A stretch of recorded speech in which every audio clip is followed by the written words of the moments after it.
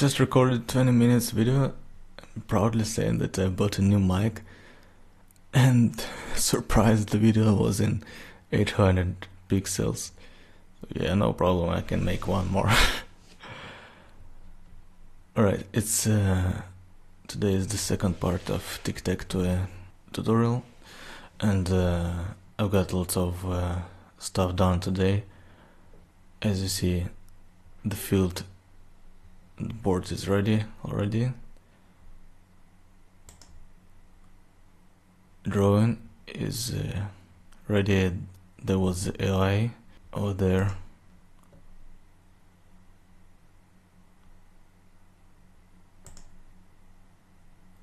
And yeah, there is a victory check. Lots of stuff. And yeah, I switched to Windows. Surprisingly, it's uh, way faster than Ubuntu. Ubuntu is uh, fast in launch, but there is no uh, GPU acceleration for emulator. Emulator is gonna kill your computer on Linux. Yeah. So it's fast on launch uh, time, but alright, so animations we had uh, before. So if you followed, you know how this thing works. Now let's uh, the board itself how what's in here. So I take the width of the screen subtract those two lines and uh, divide over 3 to get square size. One uh, one square size right? And I have nine of them for each position Okay, and all sizes I have uh, here in constants in dp, like for example line size in dp 16, this line is 16 dp. And horizontal margin, I have some margin here and stuff. AI turn delay 300 milliseconds to look like he thinks. Yep. Uh, activity is uh, fixed to portrait for now. Only. There's nine uh, rectangles there. Here are those rectangles. It's a class from graphics. And there is a left top, right bottom. So I have it uh, created in on size changed. This method is called once during the view creation after constructor and before on draw. So I create those rectangles only once with horrible attributes. Don't even look at them. And uh, actually on those rects there is very convenient method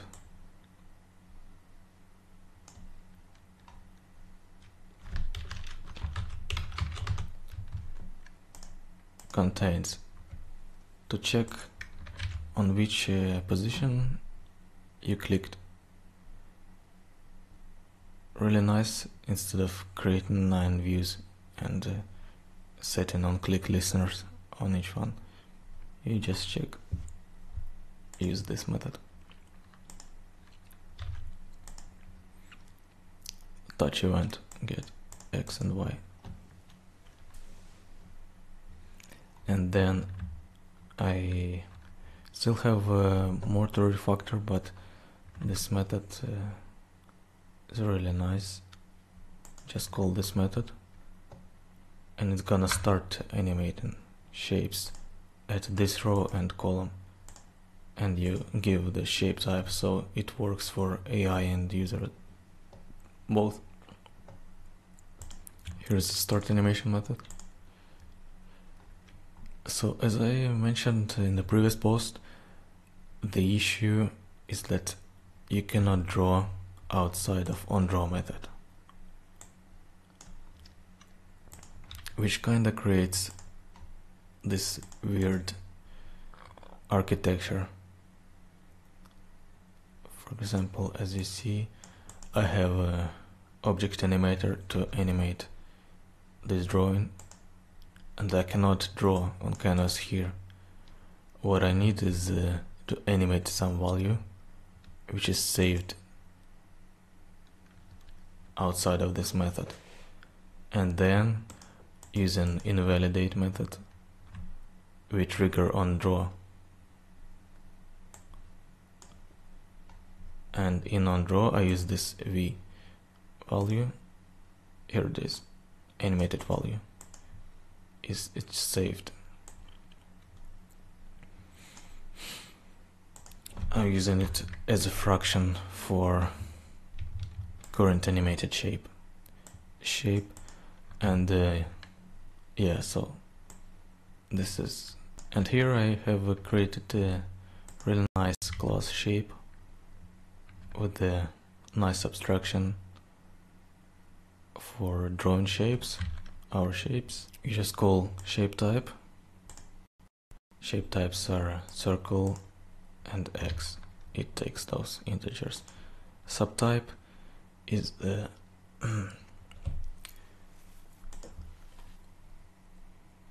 so I wanted to create different uh, kind of shapes. So if you remember from previous post I have uh, those coordinates I have them from the user input. So that uh, you can create any shape any kind of uh, X and all and use random ones so that so that they don't look similar each time. But I didn't finish it yet. It's not hard though. Then it uh, need a canvas to draw on rect inside which is this rect those. So you pass rect and it's gonna draw a shape inside of it. And this rect is the coordinates on the screen. So for example this rect if this point is uh, 0 500 then it's left 0 top 500 right this 0 plus size of the box. And fraction. Fraction is a value from 0 to 1 to animate. Or 1 is the final shape. Done. Checks for shape type here. And uh, iterates through those this huge list of points coordinates to draw. Shapes yeah draw bitmap from the previous post. Really nice abstraction then we draw previous shapes.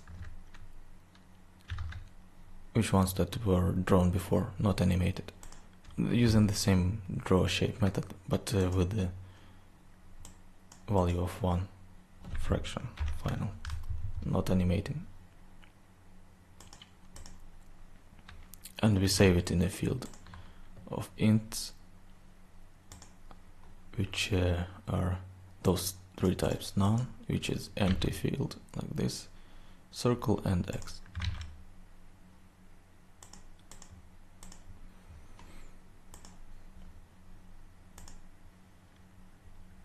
and then we check for victory.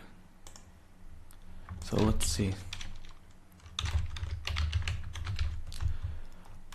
This is in animation. There is on and uh, on animation ended. So after animation ended we check if some somebody won.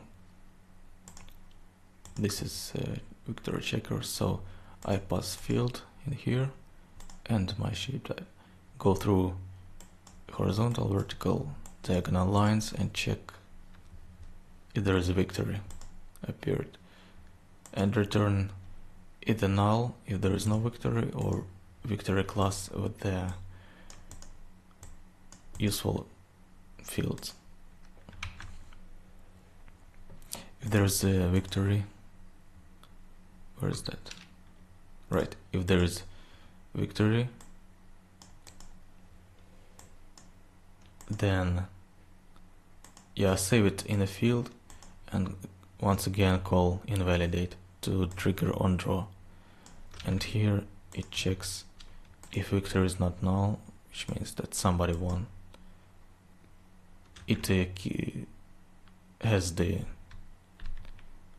winner field as well and here I just draw those lines. It's not implemented yet only implemented for horizontal.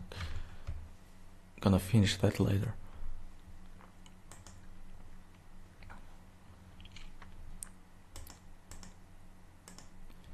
And uh,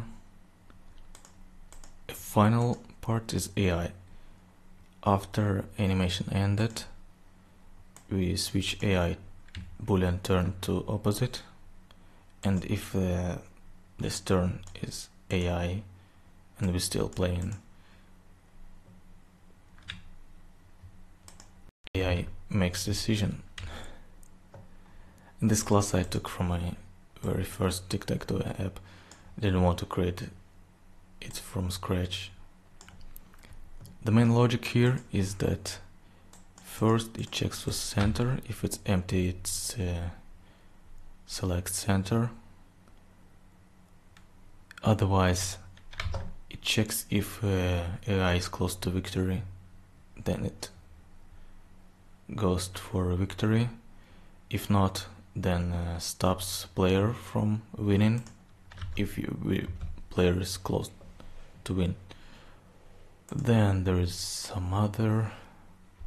Opponent has one char or uh, the very final is random just random. If nobody is close to victory.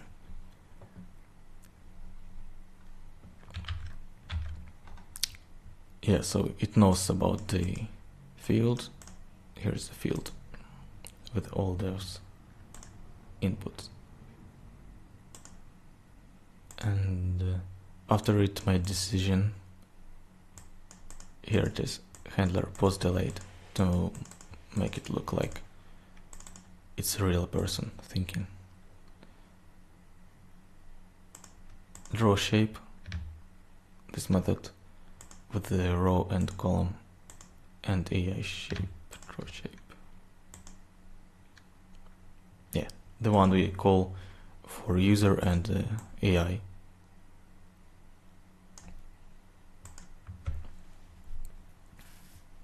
this one.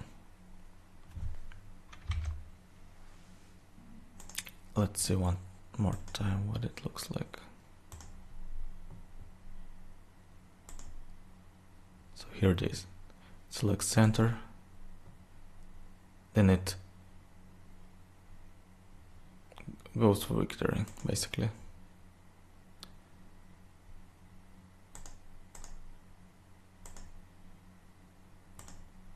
and uh, in really many cases uh, there's gonna be a draft.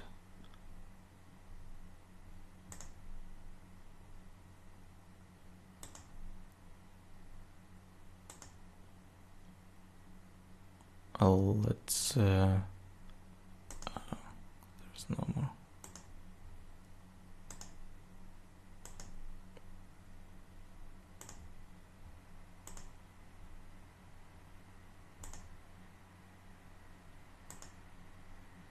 and here it is. It goes for victory. It could have stopped me but yeah, it, and let uh, let sh me show that there is not all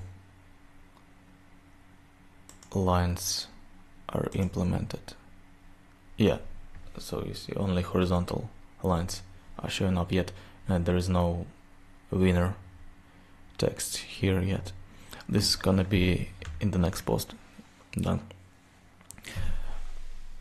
all right and uh, also in the next post there's gonna be Wi-Fi multiplayer with Firebase as a backend login sign up a list of online users uh, Firebase push notification to invite to play and all that cool stuff